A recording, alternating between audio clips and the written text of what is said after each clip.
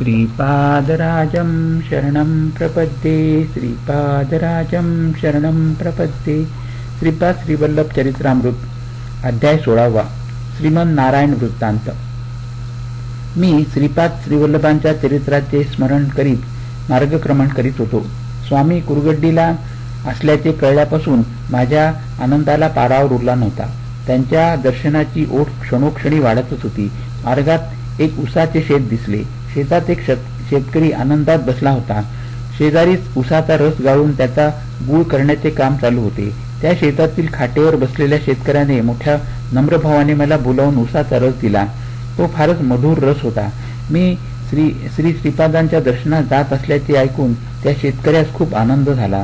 तो शेतकरी मला म्हणाला अहो काका माझे गाव श्रीमान माझे नाव श्रीमान नारायण मल्लादी आहे. आमचे गाव मल्ल्यादीपुरम परंतु कालांतराने त्यांचे त्याचे नाव मल्लादी असे अपभ्रंशाने पडले. श्रीपाद श्रीवल्लभांचे आजोबा श्री बापनाचार्यलू यांचे आडनाव सुद्धा मल्लादी असे होते. ते ब्राह्मण होते परंतु आम्ही चौधरी आहोत. त्यांचे आणि आमचे अगदी जवळचे संबंध असताना आम्ही मल्ल मल्लादीपुरम गाव सोडून पिठिकापुरम गावी आलो. त्यावेळी आमची परिस्थिती फारच बिकट होती. सारी स्थावर जंगम मालमत्ता विकून टाकून अंगावरील एका कपड्याने आम्ही येथे पिठिकापुरमला आलो. श्री बापनाचार्यलू यांनी आम्हास मोठ्या प्रेमाने जेव घातले. त्यांचे शेत करण्याची आमची इच्छा होती. त्यांना आम्ही ती बोलून दाखविली.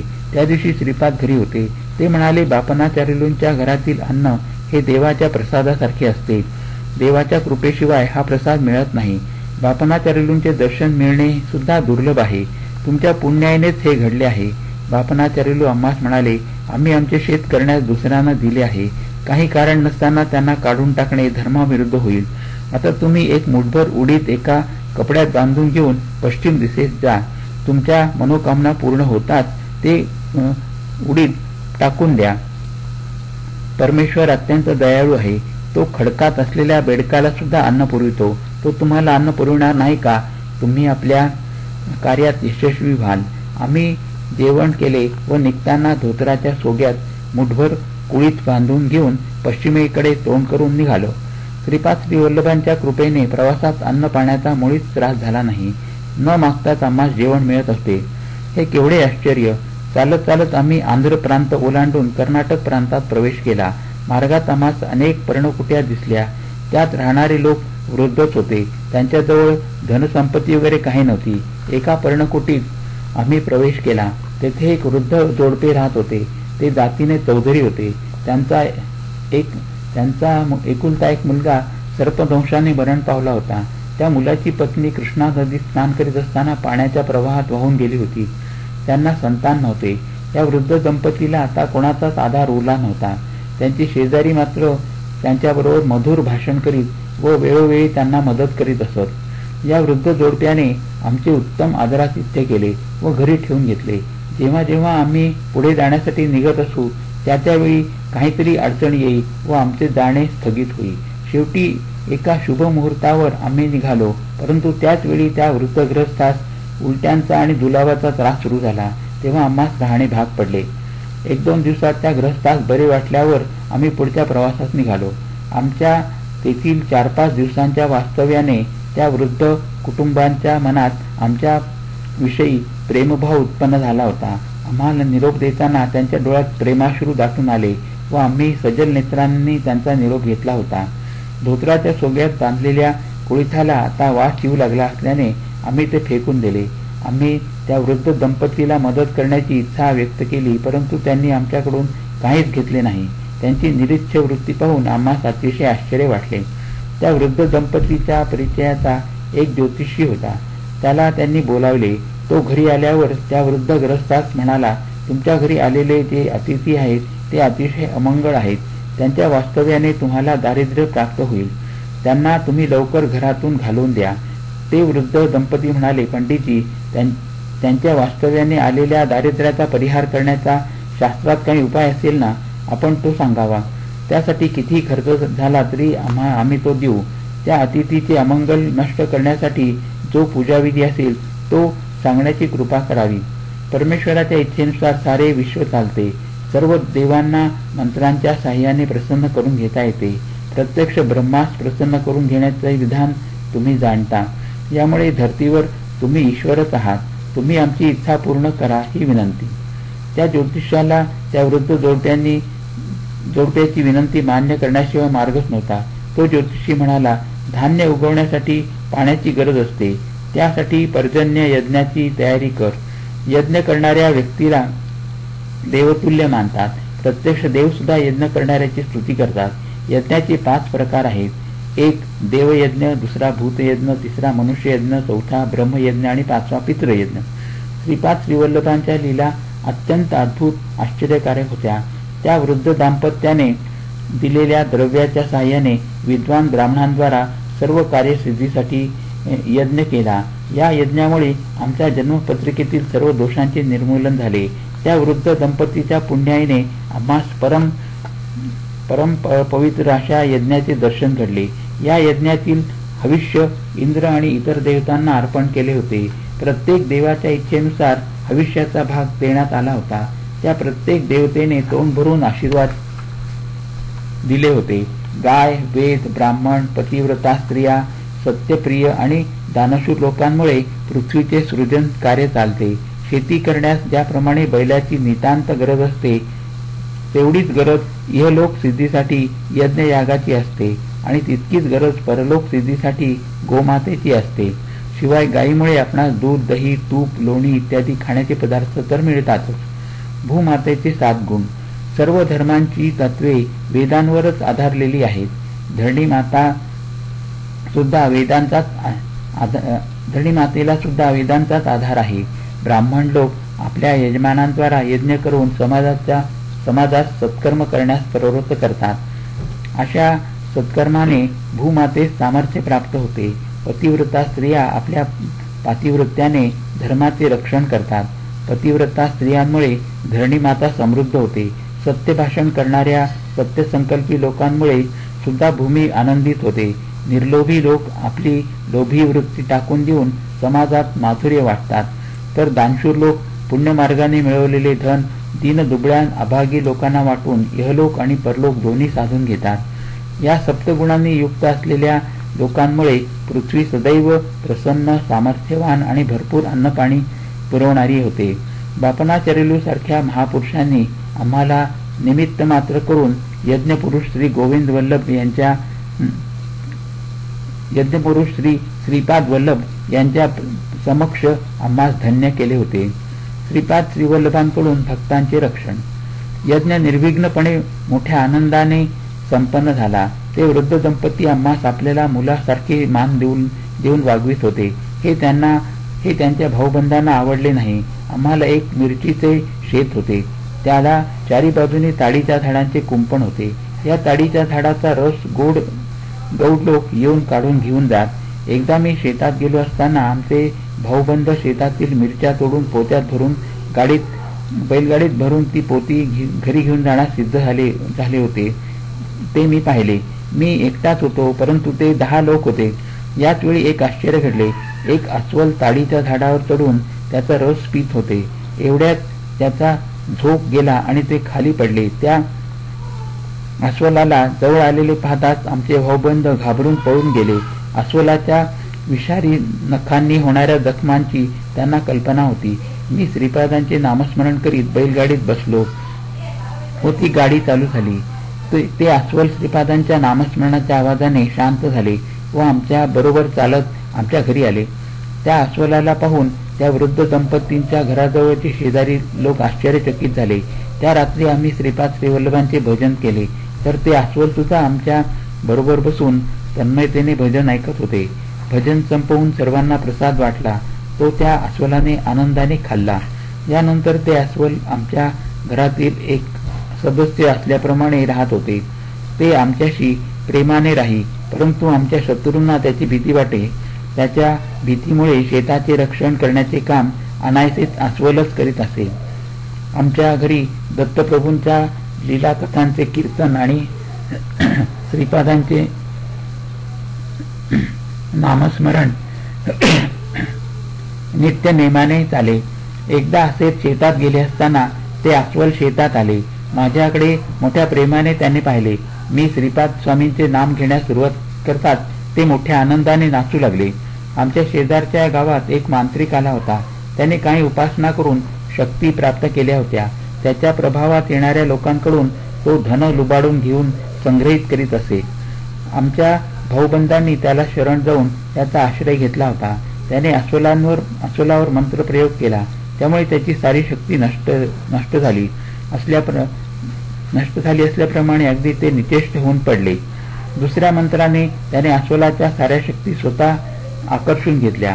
रामायणातील वालीप्रमाणे त्याला एक विद्या अवगत होती जिच्या प्रयोगाने समोरील शत्रुपक्षाची अर्धी शक्ती त्यास प्राप्त होत असे. या कारणामुळे श्रीरामांनी वालीला झाडाच्या मागे लपून बाण मारला होता व त्याचा अंत केला होता. श्रीपाद श्रीवल्लभांच्या शिष्यांना कर्मबंधनापासून मुक्तता श्रीपाद स्वामींच्या लीला मोठ्या गम्य असतात. त्यात कार्यकारण संबंध शोधणे अत्यंत कठीण आहे. कारणाशिवाय कोणतेही कर्म संभवत नाही. इंद्राची पूजा गोकुळवासियांनी प्रतिवर्षापणे प्रमाणे न केल्यामुळे रागावून त्याने गोकुळावर अतिवर्षा केली होती. तेव्हा श्रीकृष्णाने गोवर्धन पर्वत आपल्या अंगुलीवर धरून अंगुलीवर उचलून धरला होता. त्याने गोकुळावर त्या व त्याखाली सारे गोकुळवासी सुरक्षित राहिले होते. ज्याप्रमाणे श्रीकृष्णाने सर्व गोकुळवासियांचे रक्षण करून आपल्या गोपाल धर्माचे पालन केले त्याचप्रमाणे श्रीपाद श्रीवल्लभांनी मांत्रिकाच्या योगशक्तीला तिच्या आज्ञेप्रमाणे करू दिले. अस्वल त्या शक्तीला बळी पडले. त्याच्यातील पुण्य अंशामुळे ते श्रीपाद स्वामींचे भक्त झाले होते. त्या मांत्रिकाच्या शक्तीप्रयोगाने निचेष्ट पडलेले अस्वल मंदगतीने रडत होते. दुःखी जीवांचे रुदन श्रीपाद श्रीपाद श्रीवल्लभ स्वामींना न चुकता ऐकू येते. ते प्रत्येकाच्या कर्मानुसार पापकर्माच्या फलाची तीव्रता कमी करतात. श्रीमन नारायणाच्या घरी दत्तकथा श्रीपाद श्रीवल्लभ स्वामींचे नामस्मरण कथा कीर्तने नित्यनेमाने चालत असे. येथे येणाऱ्या भक्तात काही भक्त श्रीपादाच्या चरणी अनन्य भावाने शरण जाणारे होते. तर काहींच्या मनातील संदेह अजून दूर झालेला नव्हता. नामसंकीर्तन चालू असतानाच एक अद्भुत घटना घडली. ते मृतपाय राय पडलेले अस्वल श्रीपादांच्या नामघोषाने एकदम चेतना जागृत होऊन आनंद विभोर होऊन नाचू लागले. श्री दत्तात्रयांचे योग सामर्थ्य सर्वांपेक्षा काही वेगळेच आहे. त्यांच्या करुणेने त्या अस्वलाचे रूपांतर एका मनुष्यात झाले व त्या मानव तांत्रिकाचे रूपांतर एका अस्वलात झाले. तेथील लोकांनी त्या अस्वलास दोरीने बांधून अरण्यात सोडून दिले. ते मनुष्यरूपी अस्वल सर्व लोकांना उद्देशून म्हणाले लोक हो मी गेल्या जन्मी एक सावकार होतो आणि व्याजावर पैसे देण्याचा व्यवसाय करीत होतो. अधिक व्याजाचा दर लावून मी लोकांना छळ छळीत असे. धन न दिल्यास त्यांचे घर लुबाडून घेत असे. अशा दुष्कृत्यामुळे मला अस्वलाचा जन्म घ्यावा लागला. परंतु माझ्या पूर्वपुण्याईने या जन्मी मला श्रीपाद श्री वल्लभांचे दर्शन घडून त्यांचा अनुग्रह प्राप्त झाला. श्रीपाद श्री वल्लभ श्री दत्तात्रयांचे अवतार आहेत. त्यांच्या अनुग्रहामुळेच माझी अस्वलाच्या योनीतून सुटका होऊन उत्तम असा मानव देह प्राप्त झाला. त्या मांत्रिकाने अनेक पापकर्मे केली. त्याने माझ्या माझ्यासारख्या मूक असलेल्या आणि विशेष म्हणजे श्रीपाद श्रीवल्लभ स्वामींच्या भक्त असलेल्या प्राण्यांचा विनाकारण छळ छळ केला होता. या पापकर्मामुळे त्याला श्रीपाद श्रीवल्लभ स्वामींनी योग्य ते शा शासन केले. शिष्टांचे रक्षण आणि दुष्टांना शासन असे ब्रीद असलेल्या स्वामींची जे अनन्य भावाने श्रद्धायुक्त अंतकरणाने सेवा करतात त्यांच्यावर श्री स्वामींची स्वामींचे कृपाछत्र सदैव असते. देव आणि भक्तांची निंदा करणाऱ्या आणि पर धनावर आसक्ती ठेवणाऱ्या लोकांना ते योग्य ते शासन करण्यास चुकत नाही. आपल्या पापकर्मावर पश्चाताप होऊन व योग्य ती शिक्षा भोगल्यानंतर काही दुष्ट लोक स्वामींचे भक्त झाल्याची उदाहरणे आहेत. तो मनुष्यरूपी अस्वल पुढे म्हणाला मी स्वामींच्या नामस्मरण पारायणाने सद्गतीला प्राप्त झालो. मला मानव मानवी देह मिळालेला पाहून सर्व भक्त गणांना अत्यंत आश्चर्य वाटले व आनंदही झाला. ते श्री स्वामींच्या मोठ्या मोठ्या आवाजात जय जयकार करू लागले. हे नामसंकीर्तन संकीर्तन चालू असतानाच एक अद्भुत घटना घडली.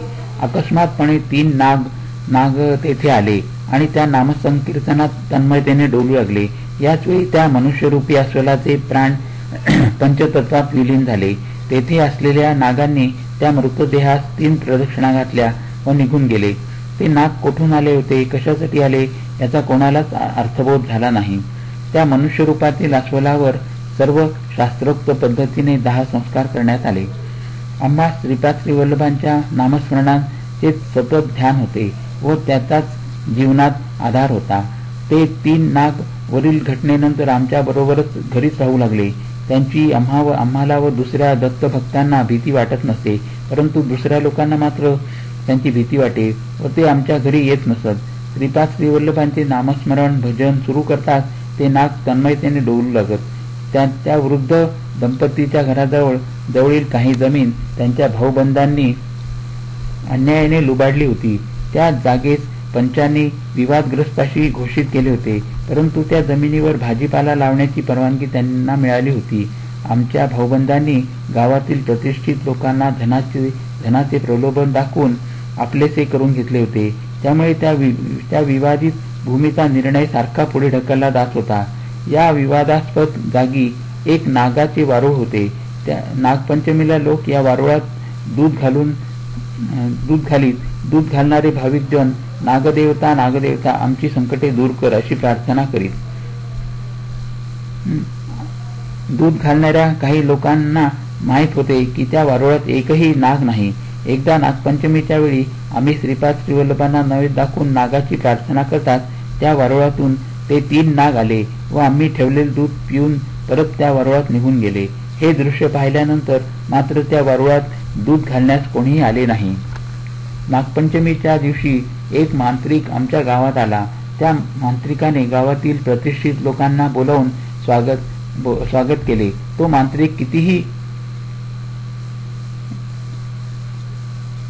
तो मांत्रिक कितीही विषारी साप असला तरी त्याला आपल्या मंत्र सामर्थ्याने वश करून घेत असे अशी त्याची प्रसिद्धी होती. तसेच सर्पदोष झालेल्या कोणत्याही व्यक्तीला आपल्या मंत्रशक्तीने जिवंत करीत असे. त्याच्या तळहातावरील गरुडाचे चिन्ह होते. अशी गरुड रेषा असलेल्या व्यक्ती सर्प वश होतात असे शास्त्रवचन आहे. ही मंत्रविद्या त्यास प्राप्त असल्याने सारे गाव गावकरी त्याच्यापुढे नतमस्तक होत असे. त्या मांत्रिकाने गावातील प्रतिष्ठित व्यक्तीबरोबर येऊन आमच्या घरात घराजवळ असलेल्या वारुळाच्या चारी बाजूला आग लावली. तो त्या आगीजवळ बसून जोर जोरात मंत्रोच्चार करीत होता व विचित्र हावभाव करीत होता. त्या सर्पांना मारल्यास पाप लागेल असे आम्ही त्याला सांगून त्याला दूर उभे राहून सांगत होतो. परंतु आम्ही तेथे काहीच करू शकत नव्हतो. त्यावेळी आम्ही त्या निरपराध सर्पांचे रक्षण करावे अशी श्रीपादांची चरणी प्रार्थना केली. त्या मंत्राच्या प्रभावाने ते तिन्ही सर्प वारुळातून बाहेर आले.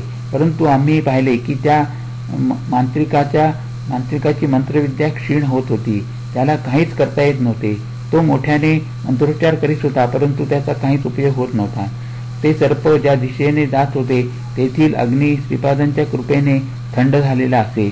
आणि आश्चर्य असे आश्चर्य म्हणजे अग्निदेव देवतेने त्या तिन्ही सर्पांसाठी मार्ग मोकळा करून दिला होता.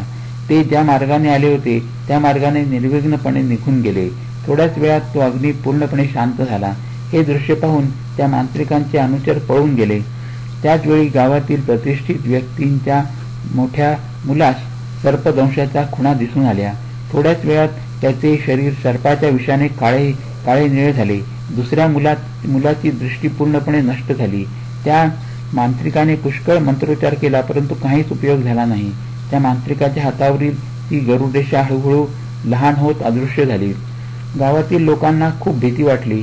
ते या भयंकर संकटातून केवळ श्रीपाद श्रीवल्लभच आपली सुटका करू शकतील असा त्यांचा त्यांना दृढ विश्वास वाटत होता. त्या मांत्रिकाची मंत्रविद्या पूर्णपणे लुप्त होऊन तो निस्तेज होऊन जमिनीवर पडला. श्रीपाद प्रभूंची लीला कोणत्या प्रसंगी कशी व कोणाला सहाय्यभूत होईल हे समजून येत नाही. गावातील सर्व लोक धावत धावत येऊन ओक्साबोक्षी रडू लागले परंतु आम्ही काही करू शकलो नाही. अनन्य भावाने श्रीपाद प्रभूंना शरण जाऊन त्यांचे नामस्मरण केल्यास तुमची दोन्ही मुले पूर्वस्थितीत येतील असे आम्ही त्यांना सांगितले. निस्तेज झालेला मांत्रिक अल्पावधीतच गतप्राण झाला. त्या मांत्रिकाचे पार्थिव शरीर गावप्रमुखांच्या घरासमोर ठेवले होते. आमचे भाऊबंद भीतीने सरसर कापत होते. वातावरणात सारीकडे दुःखाची कळा पसरली होती. त्या मांत्रिकाचा मृतदेह स्मशानभूमीत अंत्यविधीसाठी नेला. सीतेवरचे शरीर ठेवून अग्निसंस्कारास प्रारंभ करतात एक मोठे आश्चर्य घडले. त्या मांत्रिकाच्या मृतदेहात चैतन्याचा संचार झाला.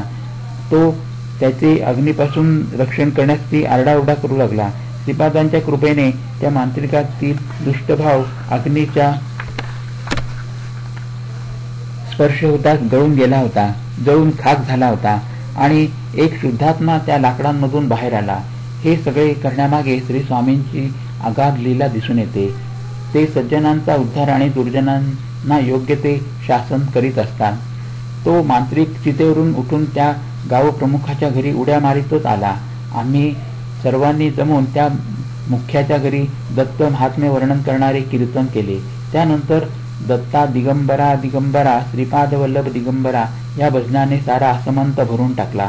श्रीपाद प्रभूंच्या स्थूल रूपातील आणि सूक्ष्म रूपातील दिव्य किरण सारे वातावरण अत्यंत शांत आणि पवित्र करीत होते. सारी ब्रह्मांड ब्रह्मांडे या दिव्य किरणाने पवित्र झाली होती. स्वामींच्या सच्चिदानंद अद्वैत स्वरूपात असलेल्या महाकारण देह महत विश्रांतीत होता. त्यातून निघणारे दिव्य किरण सायुज्य सालोक्य आणि सामिप्य मुक्ती प्रदान करणारे होते.